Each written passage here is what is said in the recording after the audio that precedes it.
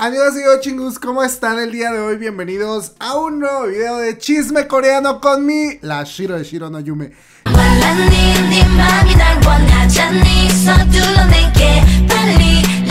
¿Qué estoy haciendo? No lo sé, hermanas. Son las 6 de la madrugada. Yo me dormí hace un rato, pero como que algo en mi cabeza me dijo, hay chisme nuevo. Entonces me agarré y me puse a ver el celular y encontré algunas noticias y dije, voy a preparar de una vez el video que les quiero grabar. Y en eso me encontré con una noticia acerca de la revelación de los primeros performance, como de que la pruebita que está lanzando la segunda temporada de Island. Para los que no sepan, déjenme tomo tantita agua. Island es un programa de competición que salió hace como tres años ya, programa de competición musical del cual resultó ganador el grupo Enhypen. O bueno, el grupo que se formó al finalizar este programa fue Enhypen. En la primera temporada de Island se unió Mnet junto con High Levels para la creación de este nuevo grupo pero en esta segunda temporada las cosas han cambiado, hubo cambios que se anunciaron desde el año pasado. Y de hecho mucho rumor apuntaba a que supuestamente Teddy, Teddy Park, el CEO, el productor principal de The Black Level, iba a ser el encargado de producir musicalmente hablando la competición de la segunda temporada de Island porque esta segunda temporada, a diferencia de la primera, iba a estar centrada en descubrir talento femenino durante la celebración de los Mama del año pasado se anunció que esta segunda temporada de Island iba a estar llegando durante esta primer mitad de 2024 y resulta que durante finales de la semana pasada y principios de esta pues ya se empezaron a lanzar más detalles y ya se lanzó la fecha concreta. Y el estreno va a ser el día 18 de abril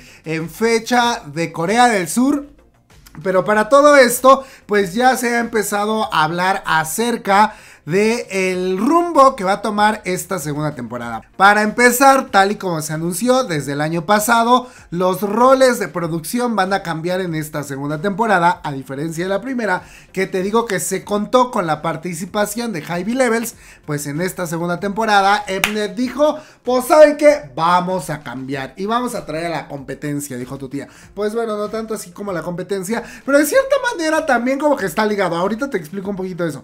Pero bueno, para esta segunda temporada, eh, Mnet se ha aliado con The Black Level, que es el sello discográfico dirigido por Teddy Park, que en su momento fue subsidiaria de YG Entertainment desde hace un tiempo para acá. Pues como que YG tampoco ya no mete mucho las manos y durante finales de 2023 se anunció que The Black Level dejaba completamente de depender de YG porque The Black Level ya se ha hecho un sello independiente y que de hecho pues ya empezó a buscar nuevos inversionistas pues para ya no tener... Ay, pues para ya no tener que ver nada con la señora esa. ¿Por qué empezamos a hablar de... Ah, bueno, de The Black Level, para los que no sepan, es el sello discográfico de la Teddy Park, sello al que pertenece Somi, sello al que pertenece Taeyang de Big Bang y era la casa productora musical de Blackpink. Aunque Blackpink pertenece a YG Entertainment porque sigue perteneciendo y renovaron un contrato con ella, la casa productora musical de Blackpink es de Black Level. Teddy Park es el encargado de producir las canciones de Blackpink. Bueno, en esta nueva historia de Blackpink con la renovación de contrato no sabemos cuál vaya a ser el rumbo musical que va a tomar el grupo, los nuevos conceptos, todavía no sabemos nada de eso, pero hasta la era que conocemos de Blackpink antes de la renovación de contrato, pues la mayoría de los éxitos mundiales que ha tenido el grupo fueron producidos por la Teddy Park. En esta nueva alianza con Island, pues Teddy va a ser el productor principal de la competición musical. Él se va a encargar pues de todo el tema de la producción musical, tanto dentro de la competición como al parecer después de eh, el, del grupo resultante, aunque pues por ahí ha habido bastante tema también, porque resulta que la casa productora del grupo que vaya a resultar ganador de esta segunda temporada de Island, pues no va a ser de Black Level.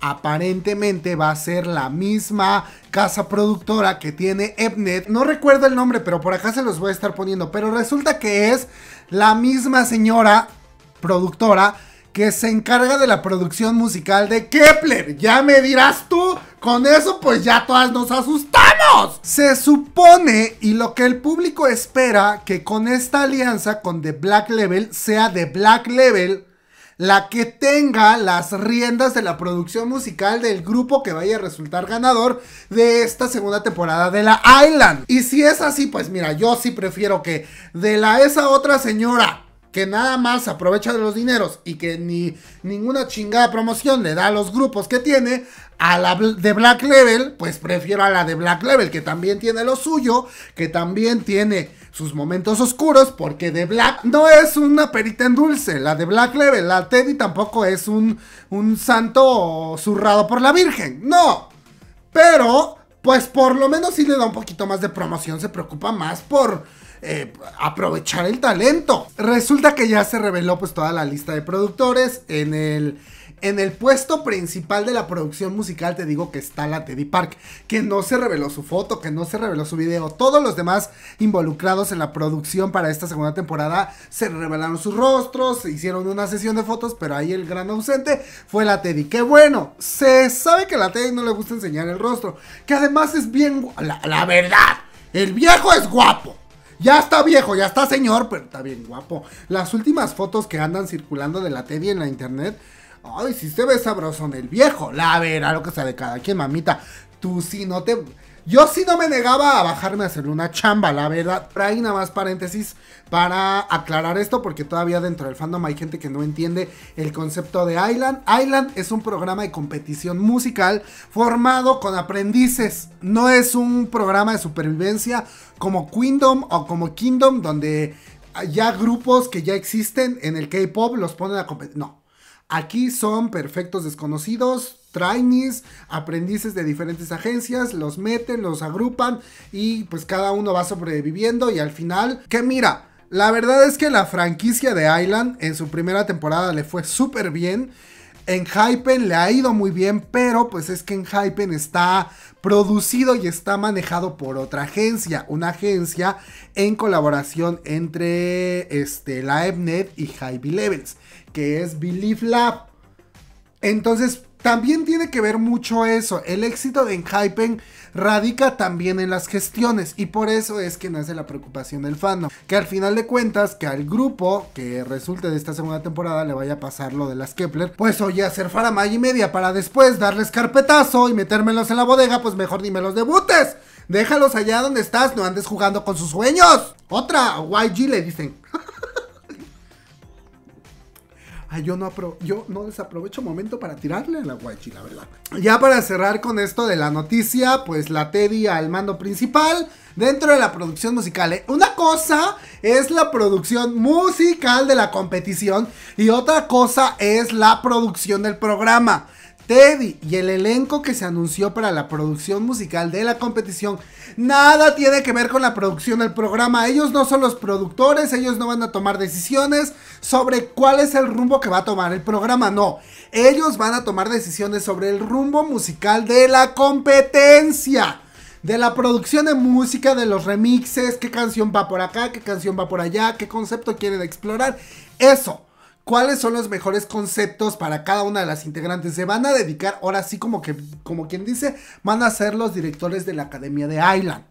No se van a meter con la producción del programa, ellos no van a contar votos, ellos no van a, a gírale la cámara por acá, ponle la cámara por allá, no, ellos se van a dedicar al performance, al show, ¿sabes? Ellos son la cara celebrity del show. Porque además dentro de ellos, pues también está tu tía Taeyang, integrante de Big Bang, que va a estar a la par con Teddy en el mando. A mí se me hace y se me hace que van a hacer esta jugarreta de que el productor principal es la Teddy, pero el que va a dar la cara por la Teddy va a ser el Tayán, porque a la chingada Teddy no le gusta andar enseñando la cara en la televisión. A duras penas quiso salir en el documental que le hizo la Netflix a las Negro Rosa. Teddy y Taeyang van a estar a la par en la producción principal de la música. BBN y 24 que van a ser los encargados de la puesta en escena, de toda la parte musical, de, producir. Van a ser como los productores internos. Y de ahí tenemos también a las dos productoras de baile, a las dos, em, pues sí, a las dos productoras de baile, que son, em, ¿cómo se llama esta chicuela? Lee, Lee Jong y esta Mónica, que fueron dos concursantes de Street Woman Fighters, un programa también, un reality show de la Mnet, pero dedicada únicamente al tema del baile. Ahora, pasando a otra cosa mariposa que viene sobre lo mismo, pues se revelaron ya los cuatro videos de los cuatro grupos que presentan a las 24 integrantes de esta segunda temporada de Island con un performance. Cada grupo tiene un performance. Y pues vamos a estar como comentando, reaccionando a esto, ¿vale? Entonces, yo por aquí te voy a poner, creo que ya está grabando, señor productor. Así está grabando, ok. La primera es Hill Dance. Sam, eh... Ay, qué bonito. Espérame, permíteme decirte qué bonita puesta en escena. Si esto es lo que me va a traer Island, es que eso es el concepto de Island visual me gusta mucho. Cuando se empezó a transmitir la primera temporada de Island, yo sí lo empecé a ver. Le perdí el hilo ya como en el tercer capítulo porque yo no soy muy fan de los programas de competición ni masculinos ni femeninos. Me gustan un poquito más los femeninos porque soy más fan de los grupos femeninos. Entonces luego de repente hacen remixes de canciones de la segunda generación y son canciones que me gustan, pero en general no soy muy fan de las competencias musicales porque no me gusta el formato. No me gusta el formato de reality show musical de, Asia en general, no solo de Corea. Y de los programas coreanos no me gusta pues la forma tan cruel luego a veces que la televisión juega con sus participantes. Luego hago mucho coraje yo y voy a quedar malita de, mi bilis, entonces no. Pero qué bonita puesta en escena. Y oye, todas en tacón de aguja. Es lo que yo te quería comentar. Todas en tacón de aguja y en pelucadas. Ay, me gusta. Ay, perdón. ¿Viste esa pierna loca? Así. Y, ay, no. ¿Sabes qué me gusta mucho? El pelo. Me gusta que peluqueen mucho. Me gusta que jueguen con la pela. Había fuerte rumor de que Kim Garam, ex Lee Serafin, podría estar en esta segunda temporada de Island. Buscando su redención y buscando debutar nuevamente.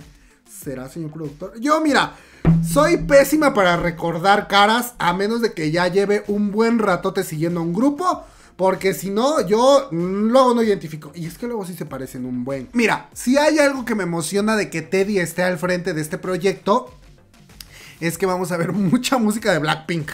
Vamos a ver mucha música de Blackpink, mucha música de YG Entertainment, mucha música de Somi. Y la verdad es que esa música tiene mucho beat para programas musicales, para hacer remixes, para jugar con la canción original y darnos una propuesta diferente de lo que pudimos haber esperado. Esta niña se parece a Karina de Spa. y me le pusieron hasta el peinado de Karina. Van a hacer un este un performance de Blackpink Du Du Du Du remix. Tenía que haber música de Blackpink. Es que es Teddy, o sea, Teddy es casi dueño de la música de Blackpink. Oye, la Teddy, viéndolo bien, todas decimos, ay, la YG Entertainment lucró mucho con, con, Blackpink, está sacando mucha ganancia, pero nadie habla de lo millonario que se hizo Teddy con la música de Blackpink. Porque sí, pero es que esto lo tenemos que mencionar. Es que hasta ahorita como que se me vino esta revelación viendo esto. Porque de aquí en adelante, todas las veces que la música de Blackpink se utilice, ya sea para un programa, que se paguen los derechos para su utilización, la Teddy está generando ya regalías sin la necesidad de estar trabajando. Y la YG también tiene regalías por lo que es pues la, la manda más, o sea, es la, que produjo el... el productor ejecutivo de la música de Blackpink es YG Entertainment. El productor ejecutivo es el que se encarga de dar los dineros.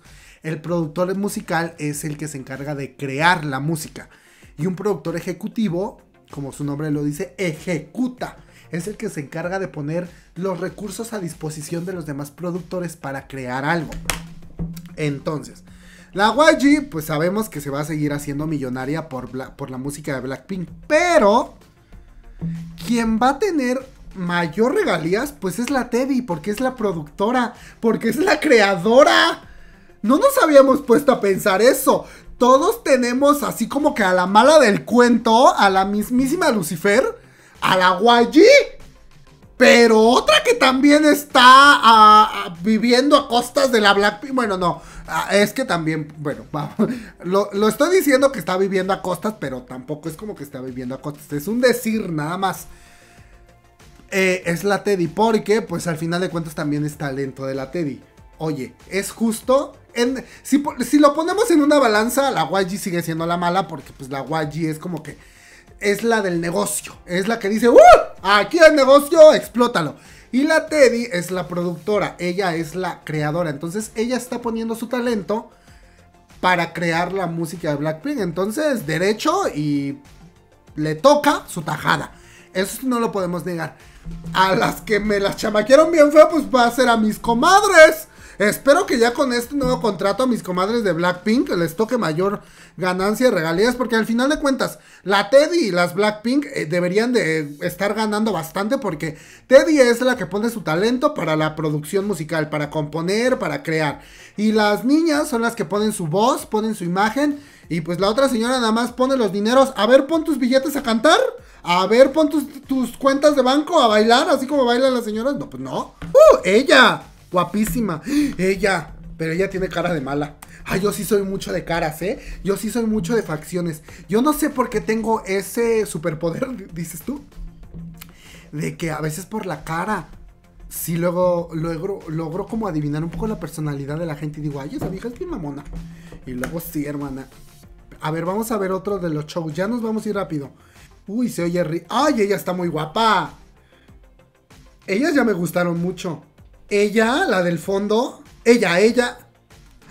Ay, Dios mío santo. Ella tiene mucha personalidad. Ella es protagonista.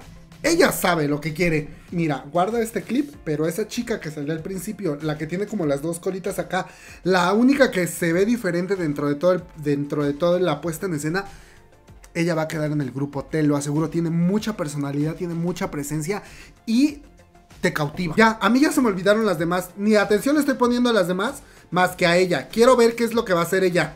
Espérate, ahorita yo quiero ver. No, ella no. Ella tampoco. Ella está, esta se parece a Susi. Ella, ella, ella, eh, no, ella no. La otra.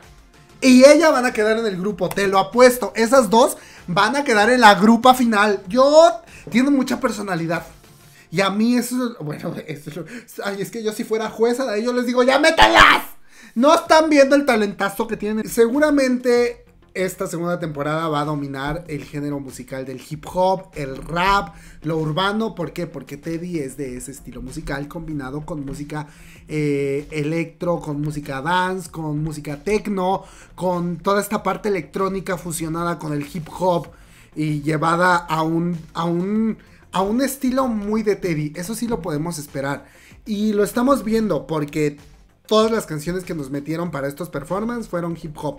Además de eso, pues las dos, eh, las dos bailarinas de, Woman Street, de Street Woman Fighters, pues también son muy tiradas a lo urbano. Taeyang es muy tirado a lo urbano, aunque de manera solista él se inclina un poco más por la balada romántica, pero con tintes muy urbanos.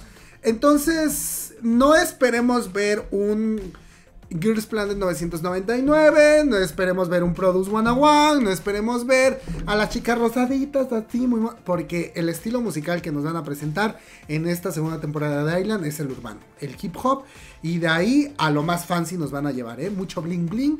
Yo auguro hasta es más una participación especial, tú quieras no, de las Negro Rose. Y pues nada, hasta aquí este video, espero que te haya gustado. Tú acá abajo en los comentarios dime qué opinas. Y pues, ay, nos vemos hasta la próxima. Bye bye. No olvides suscribirte y seguirme en las redes sociales. Ya sabes que ando muy activa por ahí. Bye.